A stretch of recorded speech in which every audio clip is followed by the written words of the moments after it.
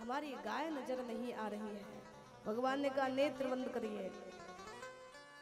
ग्वाल वालों ने नेत्र बंद किया। भगवान अपने हृदय से ही गाय को उत्पन्न करते हैं। एक वर्ष हो गई, किसी को यही पता नहीं चल पा रहा है कि ये मेरी गाय है कि कोई माया भी गाय है। ग्वाल वाल भगवान का नाम, भगवान का गुणगान गाते जाते हैं। आइए हम भी भगवान का गुणगान कर लें। नटवर नागर नंदा।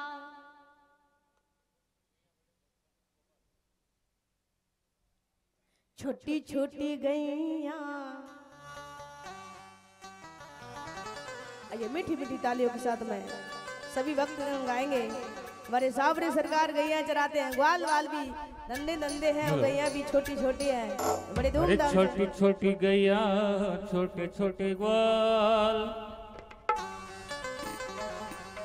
छोटी छोटी गैया, छोटे करके लौट करके जाते हैं। ग्वाल बाल नाचते हुए जा रहे हैं। पर किसी ग्वाल को ये नहीं पता कि ये गैया मेरी है कि कोई माया भी है। एक वर्ष हो गया। ब्रह्मा जी ने देखा कि अब तो वो नंद ग्वाल का छोरा रोते रोते मर गया होगा चलो देखू जाके। देखा तो वही गाय, वही बछड़े, वही ग्वाल वाल पर कन्हैया नहीं थे।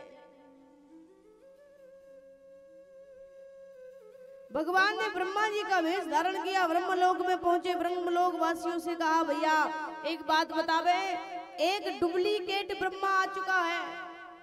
विश्वास मत करना, अगर यहाँ आ जाए तो वह को ईट पत्थर मार के भगा देना। और खुद ब्रह्मा जी की कुर्सी पर बैठ गए। ब्रह्मा जी गए। ब्रह्मलोक में प्रवेश करने वाले थे कि ब्रह्मलोक वासियों ने ब्रह्मा जी में ईंट पत्थर मारना प्रारंभ कर दिया कि हमारे सरकार ने ठीक कहा था कि कोई डुप्लीकेट ब्रह्मा आ रहा है। इतना ईट पत्थर मारे कि ब्रह्मा जी कहने लगे, भैया, मैं तुम्हारा राजा हूँ। नगर निवासियों ने कहा, तुम मेरे राजा नहीं हो सकते, मेरे राजा तो अंदर है। ब्रह्मा जी समझ गए। ब्रह्मा जी ने कहा, हो ना हो, कहीं सावरे सरकार ना हो मैंने परीक्षा लेकर के गलत किया। ब्रह्मा जी सीढ़ी पर बैठ करके श्री ठाकुर जी को देखते हैं। सावरे सरकार बांसुरी बजाने वाला वहीं बैठे हुए हैं। ब्रह्मा जी कहते, एक बार आपके ब्रह्मा जी को देखूँ? द्वारपालों ने कहा, एक मिनट, मैं पहले पूछ के आऊँ। पूछने गए। भगवान कहते, लाइए, बुलाइए ब्रह्मा जी को। कि ब्रह्मा जी अंदर प्रवेश करते हैं, सावरे सरकार अंतर ध्यान। अब ब्रह्मा जी वहाँ से भागे सीधे वृंदावन में और श्री ठाकुर जी के चरणों में गिर पड़े, हे प्रभु, हमें क्षमा कर दो, हमसे भूल हो गई। भगवान कहते हैं, जब विपत्ति पड़ती है ना तो आओ आओ, चिल्लाते हैं। और जब आ जाते हैं तो नादानी करके हमारी परीक्षा लेते हो। ब्रह्मा जी ने भगवान का परिक्रमा किया और वहाँ से पुनः ब्रह्मलोक में लौट जाते हैं। श्री सुखदेव जी कहते हैं, एक बार देवर्षि नारद कंस के पास में गए कंस बैठा बैठा विचार कर रहा था। नारद जी कहते हैं, चिंता काय को कर रहे हो? क्या कारण है? चिंता है किसी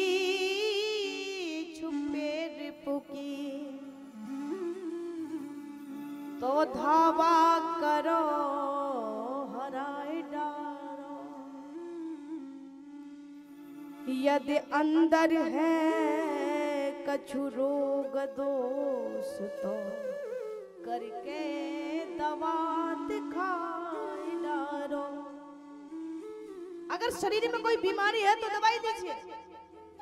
अगर किसी योद्धा की किसी वीर की तुम्हें चिंता है तो पूरी सेना को लेकर के दावा बोल दो। सुखदेव जी कहते हैं कंस ने कहा क्या करना चाहिए? बोले, पत्र लिख दो, नंद बाबा के यहाँ। और उस पत्र में लिख दो,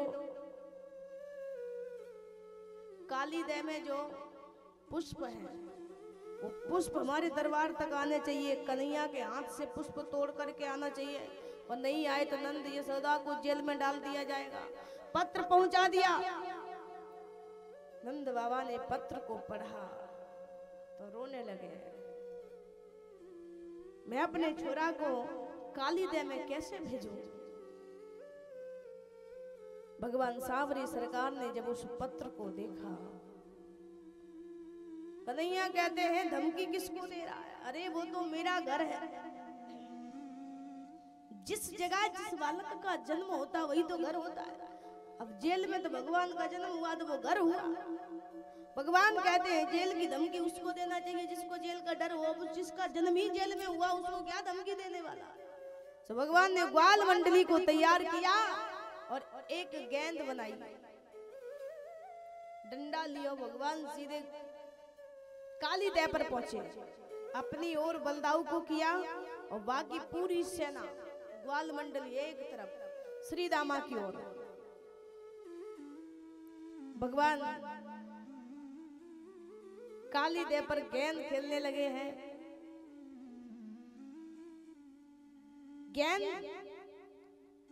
भन बनाती हुई भगवान कन्हैया के पास में जब आई, भगवान ने इस प्रकार से डंडा मारो कि सीधी गेंद जाकर के काली देह में गिरी है। श्री दामा कहने लगा, कन्हैया, मेरी गेंद वापस कर दो। भगवान कहते हैं, या गेंद को कैसे वापस कर दू? उसमें तो कालिया रहता है। अगर मैं अंदर जाऊँ तो काली नाग मुझे खा लेगा। श्री दामा कहता है, ज़्यादा ठकुराई की ना तो एक तमाचे में सारी ठकुराई धरी की धरी रह जाएगी। हमारी गेंद चाहिए। भगवान कहते हैं, घर चल, दूसरी बढ़िया गेंद बना के देंगे। श्री दामा कहता गेंद चाहिए तो यही चाहिए, दूसरी गेंद नहीं चाहिए। तो भगवान वृक्ष पर चढ़ जाते हैं और छलांग लगाई सीधे काली दे में अब ग्वाल वाल सब घबराए। पूरे ब्रजमंडल में शोर मच गया कि कन्हैया काली दे में कूद गए। यमुना जी के किनारे, काली दे के किनारे इतनी भीड़ लगी है। नंद यशोदा गाय बछड़ी ग्वाल वाल सब रोने लगे। सब श्री दामा को गालियाँ देने लगे। इधर भगवान जब काली दे में कूदे तो कालिया नाग सो रहा था। नाग पत्नियों ने देखा नाग पत्नियाँ हाथ जोड़ करके भगवान से कहने लगी, लाला, तू छोटो सो बालक है वो तो भगवान की बहुत बड़ी कृपा मान कि मेरो पति सो रहा है, अगर मेरो पति जाग जाता तो आज तुझे मरना होता। भगवान ने कहा, अपने पति को जगाई है। दे जगा तनिक अपने पति को। कुछ बात उसी करना है। जो मरने को ही आए हैं तो मरने से डरना क्या है? अपने पति को जगाइए। मैया, अगर मेरी मृत्यु इसी के हाथों में है तो फिर डरना ही क्या है? नाग पत्नी कहती, तू छोटो सो बालक है। मेरो पति तुझे खा लेगा। भाग जा। काय को किसी मैया की गोद उजाड़े? भगवान कहते हैं हम ही ऐसे छोटे बालक और सबका गर्भ गिराएँगे। हम यदुवंशी बंसी वारे और बंसी यही बजाएँगे। हम यदुवंशी हैं? जब तक अपने पति को नहीं जगाएगी, तब तक हम यहाँ से जाएँगे नहीं। नाग पत्नियाँ हाथ जोड़ रही हैं और भगवान अपनी हट पर लगे भगवान गए दौड़ करके और नाग के पूछ पर अपना पैर रख दिया। नाग बनबनाता हुआ, खड़ा हुआ। कौन से दुष्ट की मृत्यु आज मेरे हाथों से लिखी है? अच्छा नन्ना सवाल भगवान के शरीर के ऊपर कालिया ने अपना शरीर लपेटा। जब पूरा शरीर लिपट गया, भगवान ने फिर अपना शरीर बढ़ाया। काली नाग की हड्डियाँ टूटने लगी है। अब नाग पत्नियाँ बोली, अरे, ये तो कन्हैया है। अरे, मेरे प्रभु, मेरे पति को क्षमा कर दीजिए। मेरा सुहाग मत उजाड़िए। नाग पत्नियाँ भगवान के चरणों में त्राह त्राह करने लगी हैं। तो भगवान ने नाग कालिया को मारा नहीं भगवान ने काली नाग को नाथ लिया है। और उसके सर पर सवार हो जाते हैं। काली नाग के फन पर भगवान तांडव करने लगे ओ नाचत गिरधारी, और नाचत गिरधारी।